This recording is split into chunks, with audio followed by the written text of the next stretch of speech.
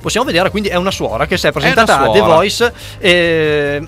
Beh, è un bel, un bel momento comunque. Ma guarda, a me ha fatto veramente tanto strano perché è successo così. Si volta J-Ax, contemporaneamente In- Noemi. e- impazziscono. E, e si vede loro che fanno schiaccia, cazzo, schiaccia. a tutti gli altri. Fa proprio ridere che loro Ma perché no? fa vabbè, e più proprio lui fa cazzo schiaccia. no!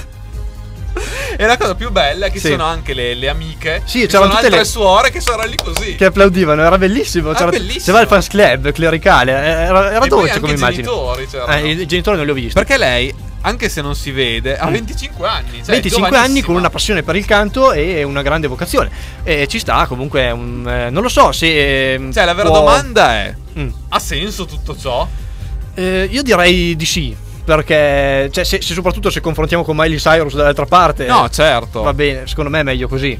Però, boh, mi sembra proprio quello. Buttiamo un po' su dell'acqua su di- verso di noi. Perché secondo me non ne abbiamo abbastanza. Dobbiamo fare audience, e allora l'abbiamo Un presa. po' mi sembra così. Però cioè, eh, lei è brava. Io spero che sia tutto vero, ecco, l'unica cosa. Spero sì, spero ovviamente che sia tutto vero. Perché sennò perderebbe molto di Ci senso. rimarrai veramente male a scoprire, magari dopo due anni, come le tattoo, magari quell'epoca che, magari, che poi si scoprirono non, non erano lesbiche. Eh. E in questo caso scoprire che lei non era suora, magari tra due anni, tre. Eh, quindi spero che sia tutto vero e non so, come immagine è bella.